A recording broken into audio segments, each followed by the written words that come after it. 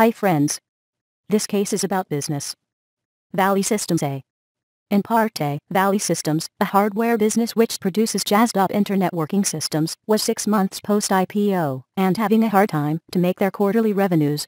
Matt Tucker, the business's CEO, was extremely worried about the unfavorable effects of missing their numbers specifically so carefully using their IPO, and assess the choice of switching some bigger shipment in the next quarter with smaller sized shipments in the present one-fourth to accomplish their target profits. The trainees are consulted to identify exactly what they would carry out in Tucker's scenario and talk about the ramifications of their choice on business, financiers, and staff members. Thanks for watching this video.